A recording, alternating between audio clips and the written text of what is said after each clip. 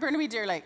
Uh, Thank you, Madam Speaker. Last Friday was the official opening of Burnaby's new Pioneer Community Resource Centre, which provides space to local nonprofits at reduced rents. The beautiful centre is located within the new Sovereign Development in Metrotown.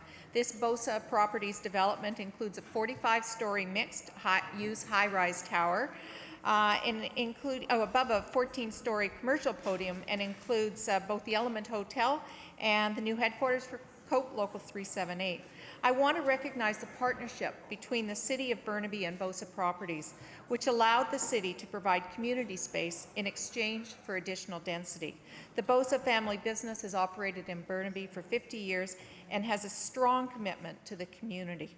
Uh, I want to thank Dale, Colin, and Sylvia also for attending the opening. The two organizations that now call the 6,000 square foot Resource Centre home are Burnaby Family Life, which offers a variety of family and individual counseling, parenting, and child care services, and the Burnaby Hospice Society. Through working in partnership with developers in the Community Benefit Bonus Program, the City has been very successful in providing numerous facilities that have made a substantial con contribution to community life in our city.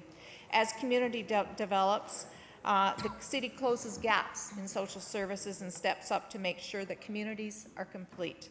This is the fifth such city-owned nonprofit space housing dozens of nonprofit community service agencies.